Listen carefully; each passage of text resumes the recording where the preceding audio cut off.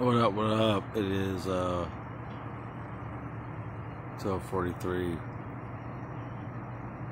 April 7th, 2022. And I just want to let you know what's up, what's up. Never give up, never give in, never fold. You know what I'm saying? To all my targeted individuals, you got to keep your head up. You got to stay focused. You know what I mean? As y'all see my little book bag right there, right?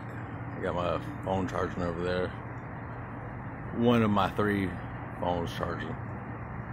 But anyway, uh, this is your main weapon, the Holy Bible. You know I mean? That's your sword against all evil principalities, all evil that can come at you.